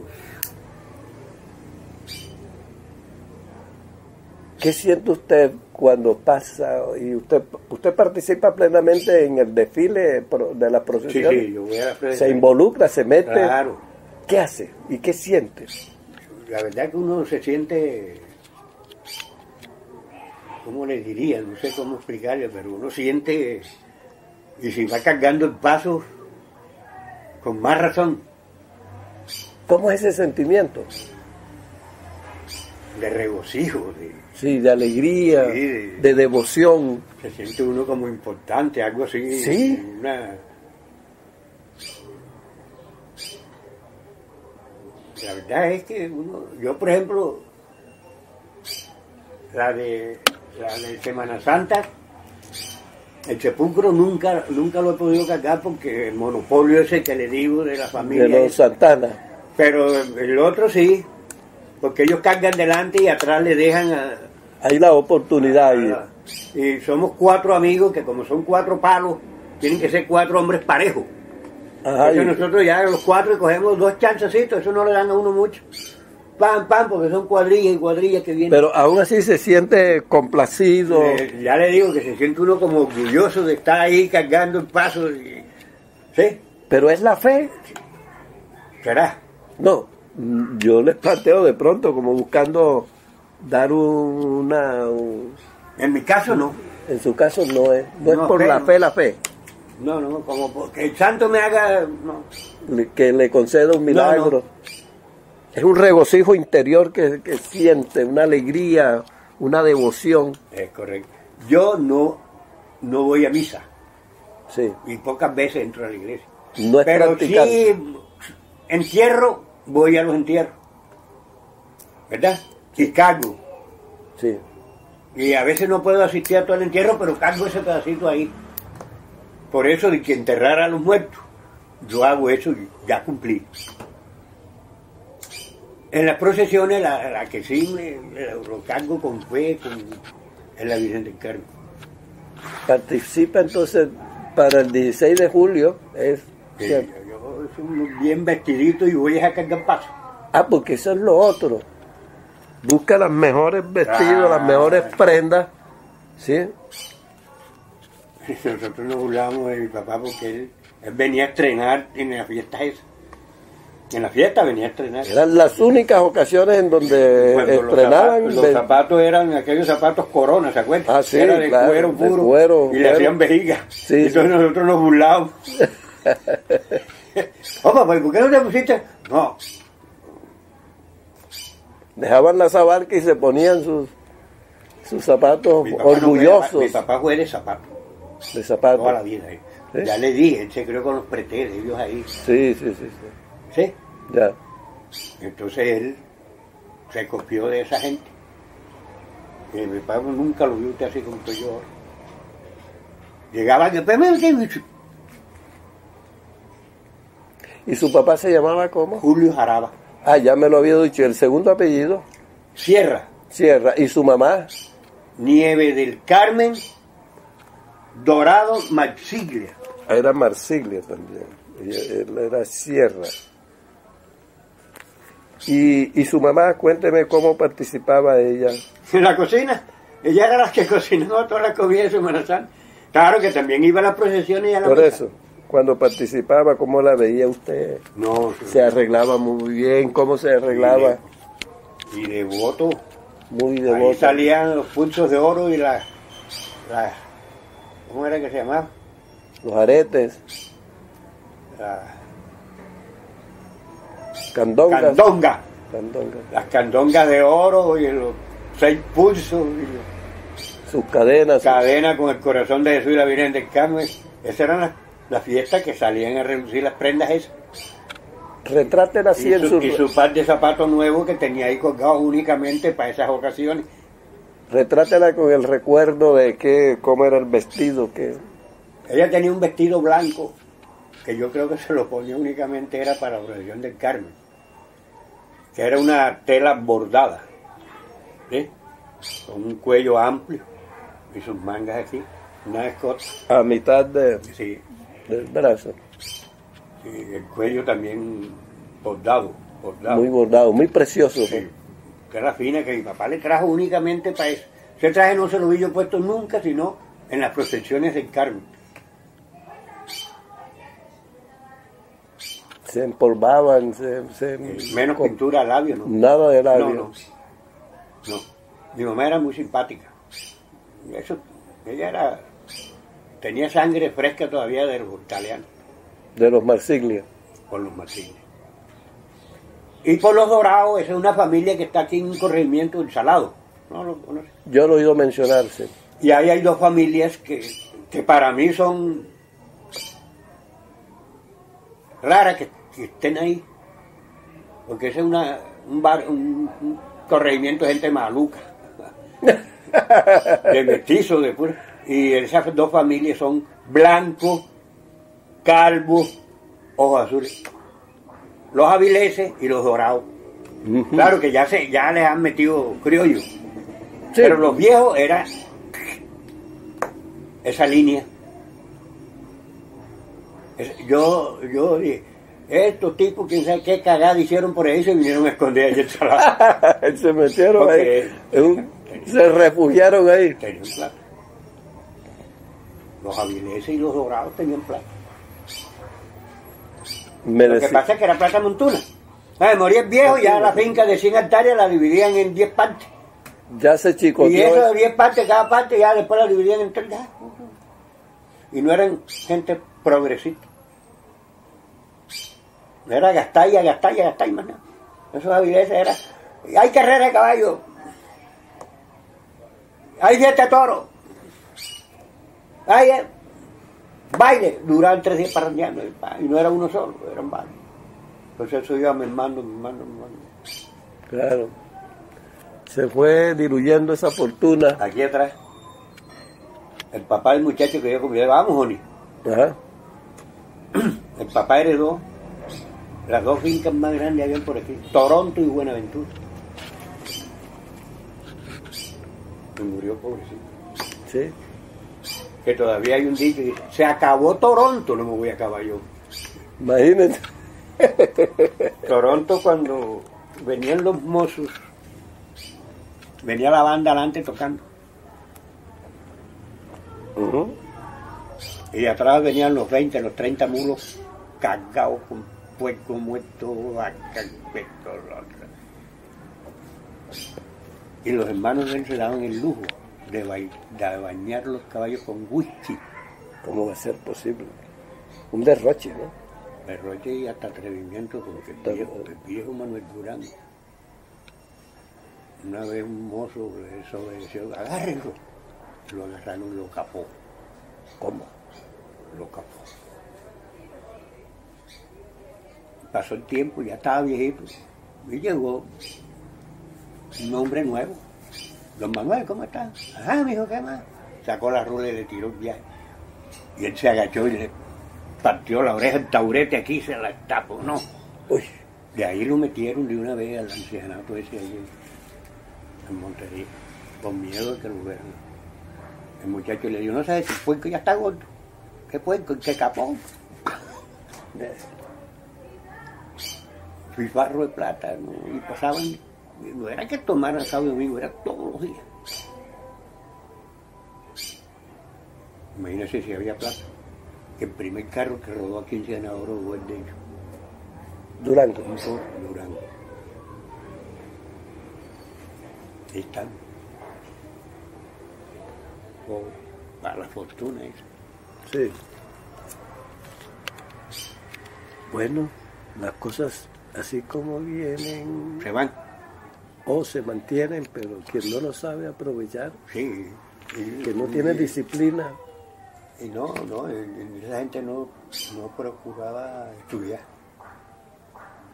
O pulirse más de lo que estaba, no, era.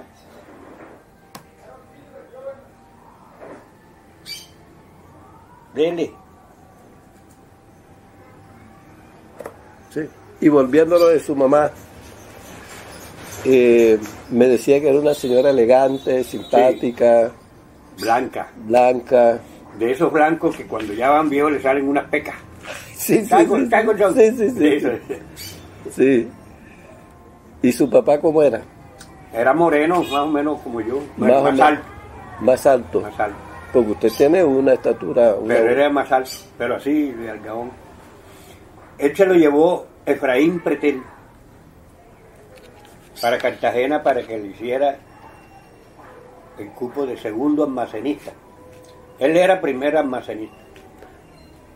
El que necesitara algo iba donde Efraín y solicitaba y él le daba un, un recibo. Un recibo. Y él iba donde mi papá para que le entregara lo que fuera necesitado, una escoba, el repuesto de un motor del barco. Eso había ahí un almacén. Habían como 10 tipos trabajando. ¿Y qué empresa era? Terminal marítimo. Ah, caramba. 25 años duraron trabajando ahí. Y se le formó el problema cuando salieron, no, no por faltantes, sino porque tenían de más de sobra. Caramba. Entonces estuvieron apurados para justificar las obras que habían. Una honradez, una Todos murieron. manejo. Todos murieron en sus casas de Palma y viejos pobres. El abuelo de, de Pretel, que está en la Semana Santa, de Orlando. de Orlando. Con su señora para donde quiera que iban. Y murió la señora y a los tres meses, creo que fueron, o dos meses, se murió él. De tristeza. Esa era llorándola. Sus otros hermanos, Tengo un hermano que es profesor jubilado, vive aquí derecho. Tengo otro hermano en Cali, con una hermana. La hermana es pensionada de IDEMA ajá, y el hermano es pensionado por el municipio de Cali. Él era promotor de higiene en Cali. Ya lo jubilaron el año pasado. y su familia en general. químico. Es químico. Y su familia en general, La, ya lo que queda son puras sobrinas, sobrino. sobrinas y sobrinos. El hijo que vive. Tías todas murieron. ¿sí? El hijo que tuvo ahora. Eh, tengo tiene tres hijos. Tres hijos. Uno está en Bogotá. Él es eh, enfermero profesional, pero no la ejerce por los sueldos bajitos. Sí. Que se mataba mucho, que trabajaba de noche, que pam, pam. Entonces ahora está trabajando con ingeniero, ¿qué? No sé qué, que decoran las paredes, pero con plantas. Ah, con planta. Un hotel. Este, ah, Sí, sí, sí, sí. Ahora está eso muy de moda. Bueno, entonces él trabaja con ese ingeniero. Un ingeniero ambientalista. Eh, eso. Él me dice que ya un edificio, no, no, no, que hay que dejarle la zona verde, no, eso cogen las paredes y se las Sí, señor. Sí, sí. Eso. Eso está muy de moda ahora. Cuidado el medio ambiente.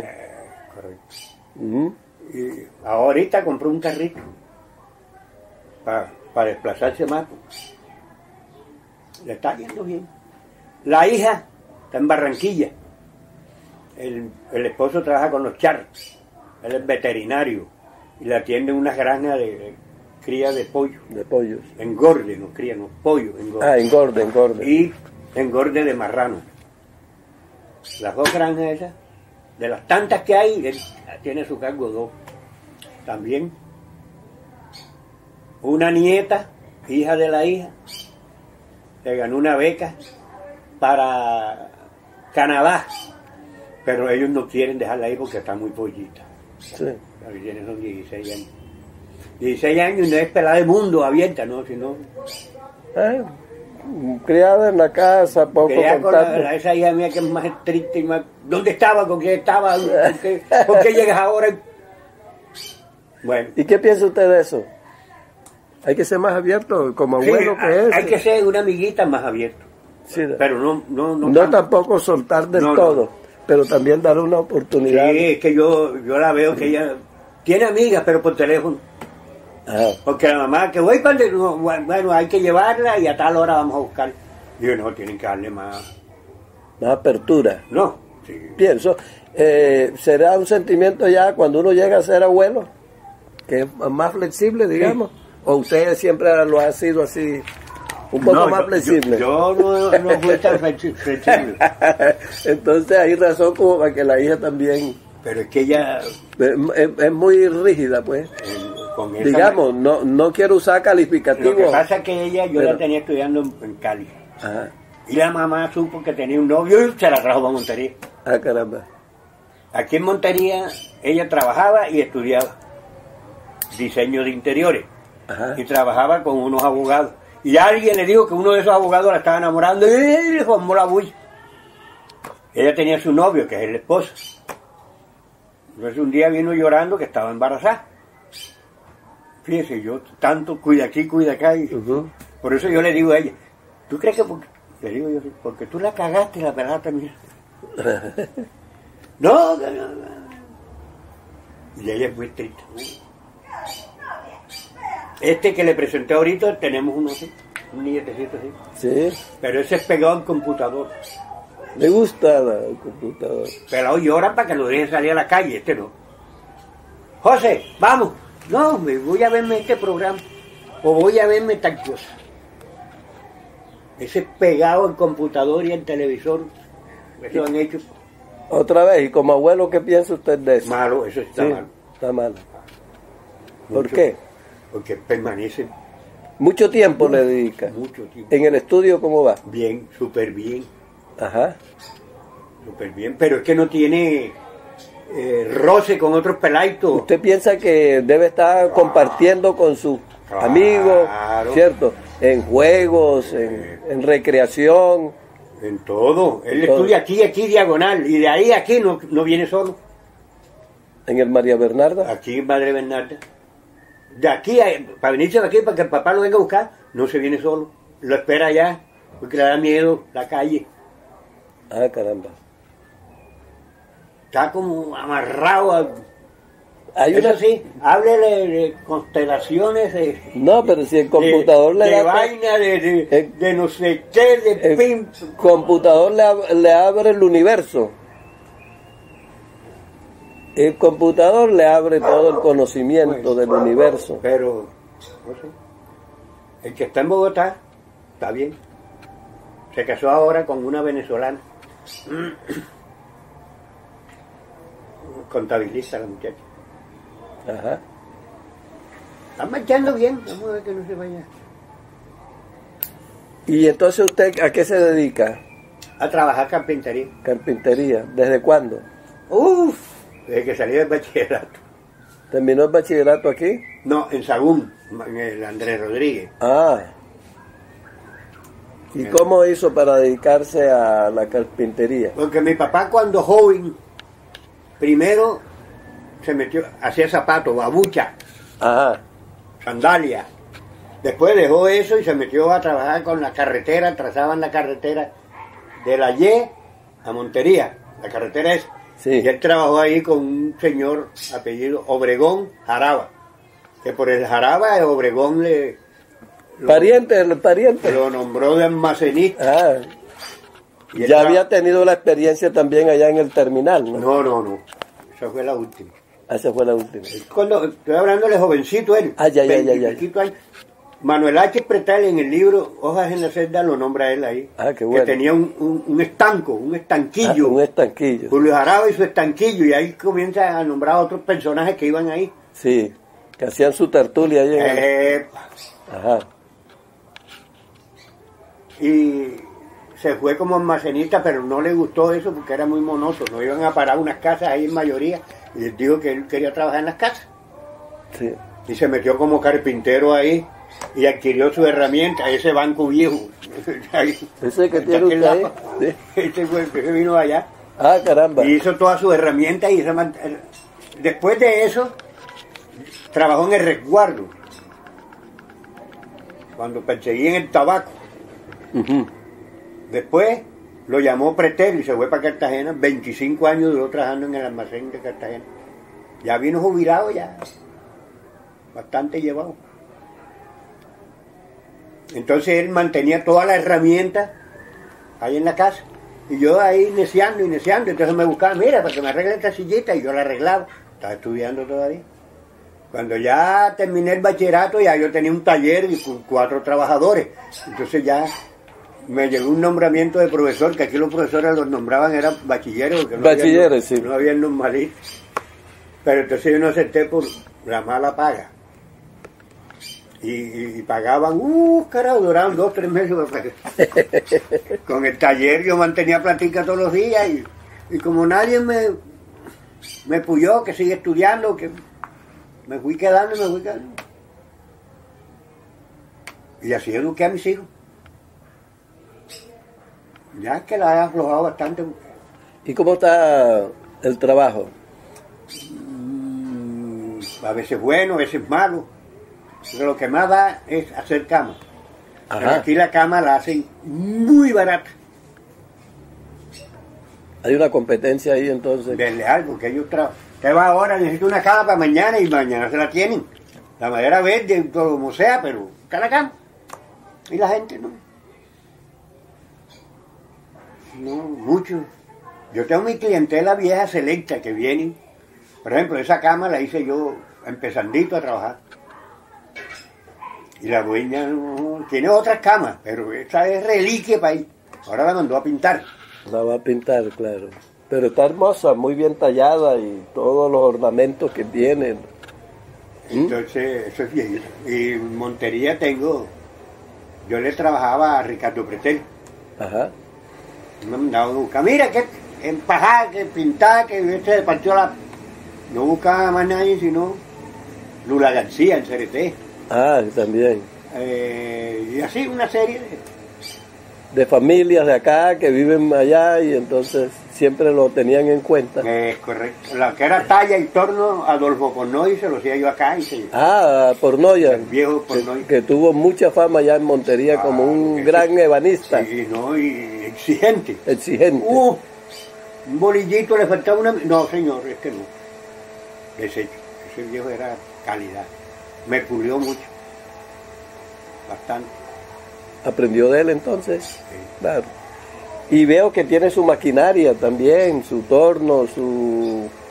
Esta... Canteadora, Canteadora. Sí, yo estoy, lo único que me falta es la, la cepilladora porque hace mucho ruido y los vecinos no. Claro, ya perturba ya el Sí, sí. vecindario. Es lo que me falta, pero como aquí hay bastante, yo llevo, cepillo las tablas. Claro, está la cepilla.